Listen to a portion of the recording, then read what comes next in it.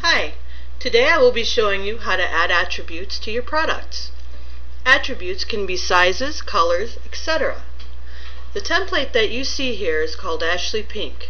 If you'd like to use it, go to our website and download it for free. Step 1 is to log into your Zen Cart admin. Go to Catalog, Option Name Manager. Type in the option name, the sort order, and select the type from the drop-down menu. Then click on the Insert button. Go up to the top and click on the Options Values button. Select the option value from the drop-down menu. Type in the option value's name. The sort order, this will determine the color's position in the drop-down menu, and click on the Insert button.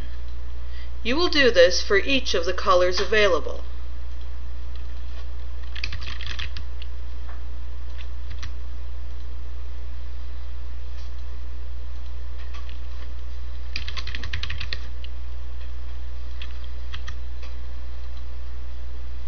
Go up to the top and click on the Attributes Controller button.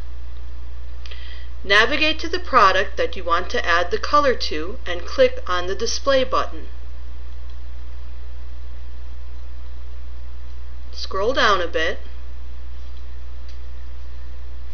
Select the option name in the Option Names box.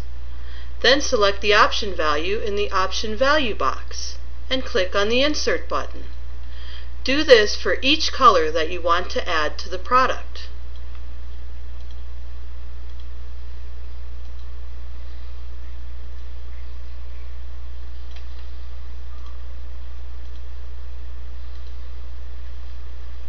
Navigate to your storefront and hit the refresh button to see your new attributes.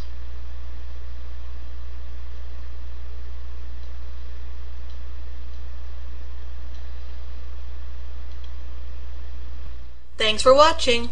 Contact us for all your web design projects, large or small.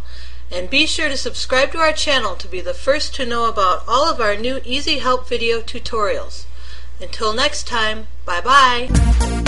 Thank you.